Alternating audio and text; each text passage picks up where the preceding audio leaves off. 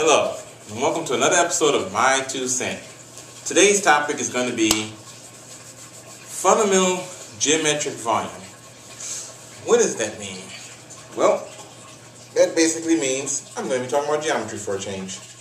You've heard me use lots of geometric terms and other videos, and it's time that I go into a more detailed and more extensive uh, discussion about geometry itself to help establish my position.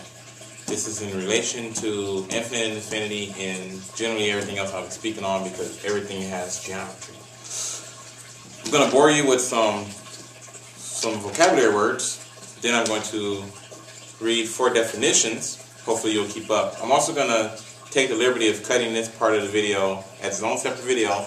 So if you don't want to sit through this, you can just skip straight to the second video.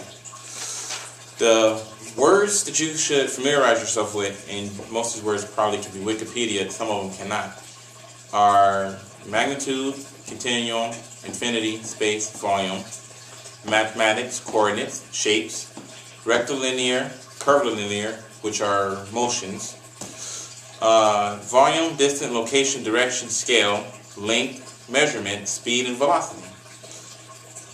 Um, and obviously, you'll want to well, I will be personally explaining my definition of what static geometry versus dynamic geometry is and how those relate to the abstract concept, the fabric of space-time, space-time fabric.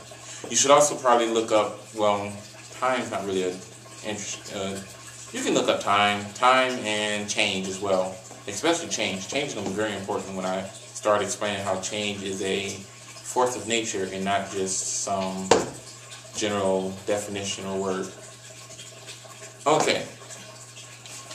My goal for this particular topic is to explain in great detail static geometry versus dynamic geometry.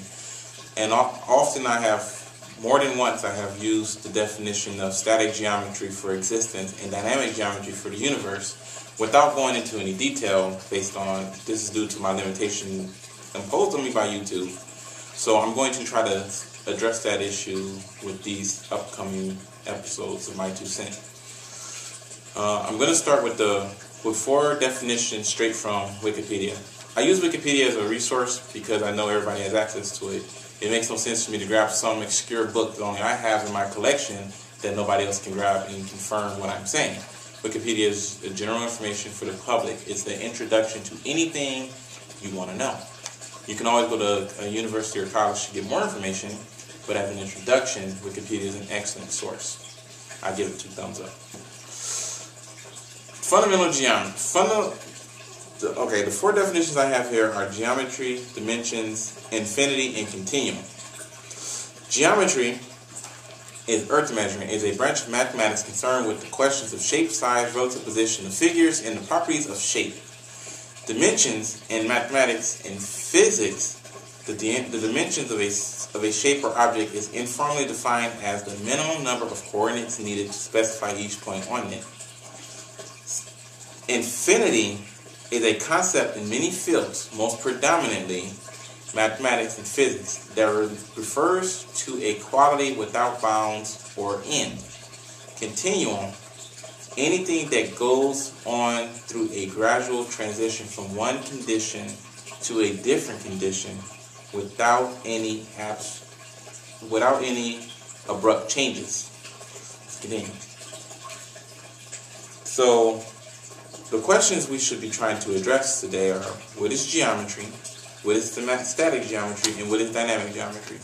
Those are my goals. When I'm done, we should have a basic understanding of geometry.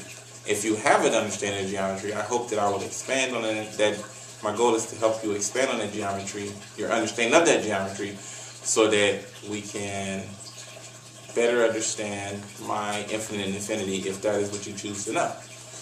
So, with that said, um, part two. This is Paul Emerson, and that was my two cents. Welcome back. Um, obviously, nothing's changed because I don't do edit jobs. We can continue from here with me freestyling as, as the term should referred to, about geometry. Okay, so what is geometry? What what what is meant by geometry, space, dimensions, coordinates, etc. What does that mean? How do you define the fundamental existence of geometry? It's very difficult because geometry as a concept has a lot of definitions associated with it, like location, shape, volume, mass, distance, location. It's very difficult to pin down. So what I'm going to do is I'm going to start with the basics. The basics for geometry is space. We live in space. So that's where I'm going to start. Space is basically empty geometry. I know that's me speaking in circles, and I'm sorry, but we're going to have to no other way to do this. So, space is empty geometry. What that means is, if you if you're in your room, your room is space. The distance between any two objects or mass is space. Space is volume. Space is measurements. For instance, the term volume usually refers to like a, uh, the capacity of a container. Like if you had a one gallon a one gallon milk jug, the milk in the the milk in the, the container is the volume of the container. The volume is associated with the jug itself. Now you can have a cube that's exactly one meter by one meter by one meter. That's length, width, and depth. That gives you a volume. A lot of people don't recognize that, but you can actually say one square foot is the volume. I have a volume of one square foot. That's important when you're talking about mass and density. The volume, the mass of one square foot of one square foot cube of hydrogen is going to have less mass than one square foot of lead because of their density. I'll go into that later. We're going to stay focused on geometry. So, what do we have so far? We have geometry equals space.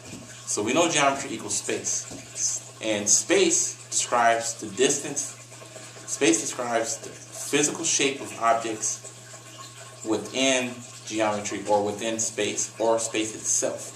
So my body takes up space. My physical body as an actual measurable object is has geometry. It has geometry and it takes up space in geometry, which is the room or the universe itself. The universe itself is truly in geometry. It's geometric. That's why I describe it as geometric, dynamic geometric coordinates. Because to measure geometry, to measure space, to measure an object, you need to define coordinates. Coordinates are little bitty undefined dots that you can subscribe around any object to determine its geometry. If we go to basic geometry right now and we start with some simple abstract concept as a point, which I don't like using anymore because points are undefined, so I'm going to use the 3D term, a vert, because a vert is defined. A vert is a actual location in three-dimensional space that describes and, a component of uh, of a simple polygon or an object in 3D space. Because objects in 3D space, being geometry, are defined by the program itself. The program recognizes the actual object even if it's not there.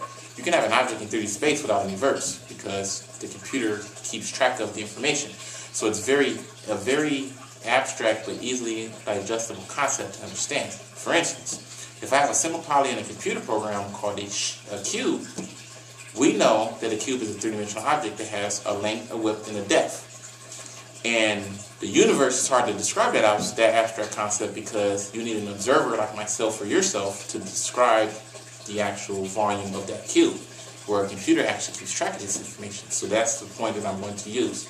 We're going to use the computer terminology to establish a position that we can utilize as a reference point for our observations in the physical world, which is special relativity or general relativity. Relativity is the ability to measure and observe information in a very abstract way. So we're going to use the computer as a foundation to observe the universe, which has no foundation, relatively speaking. So what we have is a vert. Vert is a single point. A vert is undefined, but it occupies a length, a width, and a depth in a dimensional coordinate of 3D space. 3D space itself is undefined, but the vert has an actual location in that undefined 3D, 3D space in itself is defined. I know. So we have one vert. Let's say this vert is at location 0, 0, 0 on a Cartesian plane. Cartesian plane is an abstract concept and a way of keeping track of and measuring positions in three in dimensional space because like everything in the universe space is undefined. It takes human beings to define space. Uh, if you these my table has length, width, and depth that is undefined. It has an absolute distance. It's a finite physical shape in the infinite geometry of our universe, but the shape itself is undefined. I can say from one location to the other, next location is 20 miles, or I can say from that location to that location is 10 inches. It takes me to define the actual shape. I'm using those terms incorrectly, yes, because we have given inches and miles exact abstract distances which can be repeatedly measured and repeatedly observed. But the inch as a defined measurement was defined by a mind, body, and spirit similar to myself and given an abstract absolute, but it could have been any abstract absolute. That's why an inch and a centimeter are generally relatively the same distance, even though they have different measurable properties. Measurement. Wikipedia. Anyhow, back to what I was saying.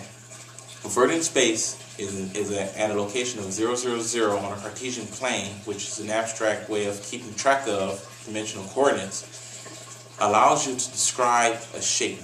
If you start with a cube or a square, you know that a cube is has a length, a width, and a depth. A single vert in 3D space has exactly a length, a width, and a depth, even though it only occupies one dimension. This is why I'm using the computer, because it makes more sense.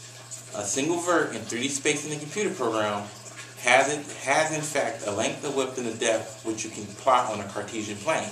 The, the, the length is x, the width is y, and the depth is z. I'll probably change those as we're speaking, and I apologize in advance, but just remember that three dimensions always has a length, a width, and a depth. If I say that the length is x, or the length is y, or the length is z, I'm, I'm, i should be more more accurate, but I probably won't be because I have limitations. But we just want to recognize length, width, and depth for now. So a single vert has a length, a width, and a depth. And you give that length and that width and that depth an actual absolute abstract value, which is, which is usually used on a number. So a single point being x, 0, y, 0, and z, 0 describes the three dimensions of that location of that point or that vert, I'm sorry, that vert in 3D space. You can draw another 3D vert with another abstract location of x1, y1, z1. Now you have two points. You have a point location 0 and you have a point location 1. Those two points, you can draw a line, subscribe a line between those two points, which is another geometric shape. And in the process, you get two, a two-dimensional line. If you draw two points from that line on the on through in three-dimensional space, you get a cube. I'm sorry, you get a, a plane. You get a square. So you have one point. If you draw a point from that line 90 degrees, you get a second point, and that second point gives you a line. And if you draw two points, if you draw one point from this point in 90 degrees, and another point from this point in 90 degrees, you get two more points. You're at four. You're so far you're at four verts, and you have a cube. I mean, I'm sorry, you have a plane. You have four, four verts with lines connecting them gives you a plane. No matter what distance or direction these verts are at, you still have, you know, a, a, a simple poly that is a, a square at this point. These four verts have to be on the same x coordinate and the same y coordinate. I'm sorry, these two verts have to be on the same z coordinate. They have to have the same height for them to be a plane. The, the x coordinate and y coordinate can change relative to the Cartesian plane. They could be they could be as large or small as you want. As long as they're connected and they're on the z-axis at, at location zero, they are subscribing a poly, a four-sided polygon. If all of the sides are equal, they are subscribing a cube. If two sides are equal, if two of the sides are equal but are not equal to each other, if side 1 and side 2 are equal, and side 2, if side A and side B are equal, and side B and side D are equal, but side A and B are not equal to C and D, you have a rectangle. Okay, now, oh, okay, so we got a plane. If you take those four verts of that plane, and you subscribe the plane up within three dimensions, and you give it a height, now you have a cube. Or you have a, well, you have a cube. I'm going to use the term cube. A cube means all equal sides. But the point is, okay, I got it. You have a cube. If all the sides are equal, you have a cube. If all the sides are not equal, then you have a three-dimensional object. A three-dimensional object cannot have any less than six verts to be recognized as a three-dimensional object. The reason why is because the simplest three-dimensional object, the simplest three-dimensional object in our universe, in our space, cannot have less than six sides. It cannot have less than six verts, and it can't have less than eight verts and six sides, and to be recognized as a simple poly in our universe. That's the fundamental truth. You can try to prove that wrong. I would love to see if I'm right, but that should be a fundamental truth. You should not be able to subscribe to a three-dimensional object, a true three-dimensional object.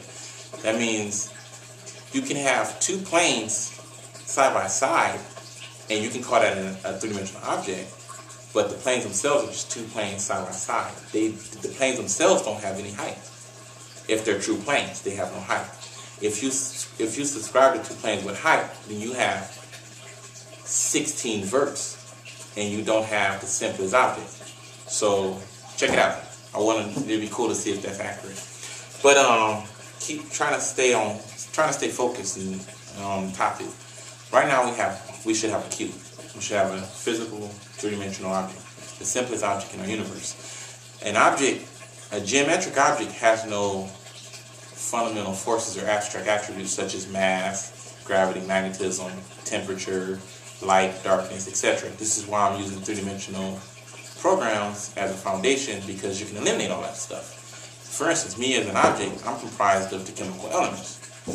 The chemical elements being this thing, those associated with the periodic table. But my geometry is separate from the chemical elements themselves. The space that I take up can be described as an abstract concept void of any uh, dynamic forces or physical matter or energy. That, that is what I mean by dimensional coordinates. When you eliminate all of the matter, energy, or physical forces in the in the in our universe, in our space, then you are left with empty geometry. Empty geometry is is dynamic coordinates because you don't have a reference point. For instance, I'm sitting here describing to you a cube that you can in your mind visualize, but there's nothing actually here in front of me. That is dimensional coordinates. That is the abstract concept that I'm going to address because it is that abstract concept is what our universe is comprised of. Our universe is comprised of empty geometry. We, as human beings, as creatures of mind, body, and spirits, literally describe the actual geometry. We give rise to it by recognizing its existence without evidence of its existence. And that is the beauty of mathematics because math allows us to do this in a very accurate, abstract, reliable, measurable, repeatable way. And So, what is the difference between static geometry and dynamic geometry? The difference between static geometry and dynamic geometry is when you have a a coordinate, let's say you have a vert, and the vert is in a location, is on a Cartesian plane at a, at a location 0, x0, I'm sorry, location x0, y0, and z0. What you have is a static geometric location. You have a you have a, a vert that is located at rest with 100% absolute potential of location 0. 0x, 0y, 0z. That is an absolute location. It's static. It doesn't change. It's, it's always the same. It's constant. If you had another object in, on the same Cartesian plane in relationship to that to that particular vert, you can move that object around relative to that position and always use that position to check yourself to, to check to determine where the location is at. A good example of that is the North Pole as a absolute location of the Earth. The North Pole in relationship to the Earth itself never changes.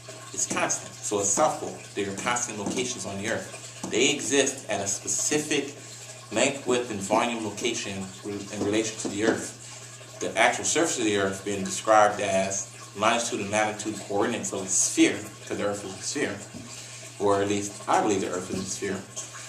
You know for a fact that the location of the North Pole is absolute, and you can measure your the, the distance you travel in relation to where you was to where you're going in relation to the actual location of the North Pole will give you an absolute location. So the North Pole is an abstract. The North Pole is an abstract static dimensional coordinate. It never changes. If you're a, on a boat in the ocean, your position is constantly changing. You have no, you have very limited control over the ability to stay stationary relative to the location of the North Pole as a as a repeatedly measurable static dimensional coordinate associated with longitude and latitude dimensions of planet Earth as a globe. In the same way, in the universe, you can say that the sun is a location or or or coordinate that is an absolute location. The prime meridian line, I hope, is another example of what I'm suggesting. The prime meridian, if I'm using the word correctly, is the location on the Earth at zero latitude. Zero latitude on the prime meridian, which I believe runs through a European nation, is the location on Earth where we decided that this is going to be the zero point of travel. The reason for this is because if an, if an airplane or if you're trying to if you're trying to traverse the Earth globally, you need a location to start with. You have to have a position to measure yourself from, because you can't always measure yourself from your center. It is a very fundamental and accepted, widely accepted idea that you are your own you are the center of your own universe, which is true to a degree. Probably the center of your own universe is you're you're constantly changing. How can you find your location if you are your location? How do you find your way back home if you are your center? You have no way to navigate your navigate your surrounding. If you say that your home is your center, when you move relative to your home, you know how to navigate back to your home because your home is a constant. But when you're your center, you are a dynamic. You are a dynamically moving zero zero zero zero zero, which is too abstract to be observable and repeatable. This is why I subscribe to the to existence being static dimensional geometry because the universe, as a, as an abstract concept of a location that is absolute with no changing variables in its dimensional coordinates, gives you a reference to measure the universe against. Because if the universe is in motion relative to static geometry, you can understand that. You can perceive that in your mind because you understand that somewhere in the universe, there is an absolute zero location of infinite coordinates. X, Y, and Z being length, width, and depth, being three dimensions in existence, can be infinite. That means you can subscribe one coordinate as an infinite magnitudinal value into infinity, where number one is a, as a value can be a coordinate. Number two is a value can be a coordinate. Number three is a value can be a coordinate. Number four is a value can be a coordinate. And these coordinates can be associated with a magnitude of zero. I know that's very tricky to think about, but let's let's try this. In M theory, string theory, there's 11 dimensional coordinates. So I'm going to use the letters A, B, C, D, E, F, G, H, I, J. No, that's confusing. I'm going to use Z, Y, X, W, U, V, T. I can't do the alphabet backwards. Um, okay, we'll just use the beginning letters. If we're gonna go A, B, C, D, E, F, G, H, I, J, K, L, K. So from A to K, you have 11 dimensions. Each one of those dimensions from A to K is going to be a coordinate.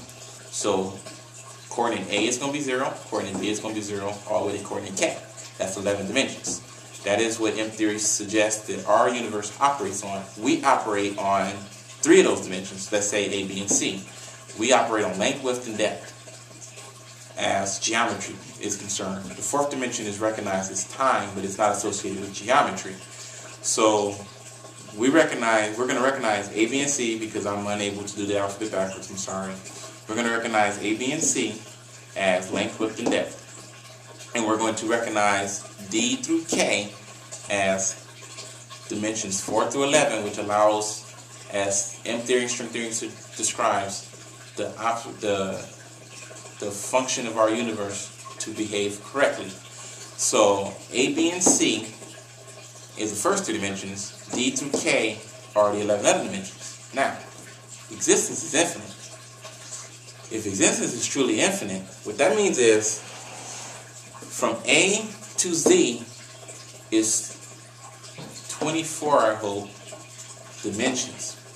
Because there should be 24 letters in the English alphabet off the top of my head. I haven't been in high school for a very long time.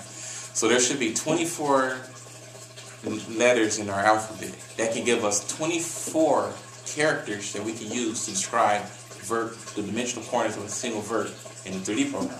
Remember in the program I said that x, y, and z are actually, a vert has an x, y, z coordinate, which is actually length, width, and depth. Existence, this is very important, existence, being infinite, has an infinite vert of coordinates that string into infinity that all have a value of zero. That value of zero, that location, is absolute and static, never changing. The universe is moving through these infinite dimensions only on 11 of them. The universe is a finite geometry of up to 11 dimensions. The human condition is a finite existence of only 3D dimensions. What that means is, is existence has on a, as a Cartesian plane of infinite geometric volume. At location zero, there is an infinite number of zero dimensions. The universe operates on dimensions A, I'm sorry, yeah, dimensions A through K inside of existence. Whereas existence has an infinite string of values, our universe being separate from existence and being dynamic dimensional coordinates operates on dimensions A through K. Human beings being limited in our our ability to observe and understand our physical universe, our minds operate on, our mind, body, and spirits operates on dimensions A, B, and C, length, width, and depth. We operate through time as a magnitudinal value as an abstract concept, the fourth dimension.